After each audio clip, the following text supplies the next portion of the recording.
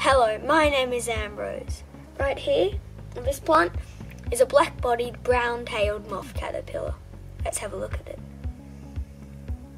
They're native to the eastern states of Australia. As you can see, this caterpillar is mostly black and quite hairy. It has two bright red protrusions on the back of its sixth and seventh abdominal segments, which makes it look quite cool. The caterpillar will pupate in a golden brown cocoon, which is usually attached to a leaf, a petal, or any other organic matter.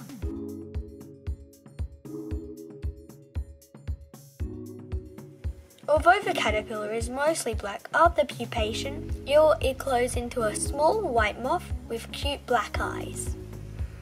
They are mainly white with some golden brown hairs along the fringe of their forewings. If a moth has a goldy brown tuft of hair on the end of its abdomen, it is a female. When the female lays her eggs, she will cover them in hairs from the end of her abdomen to protect them.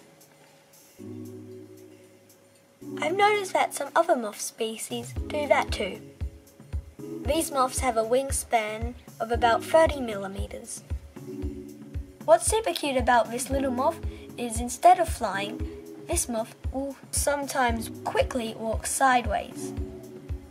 I bet it's time to say goodbye, so thanks for watching and bye for now. I'll see you in our next adventure.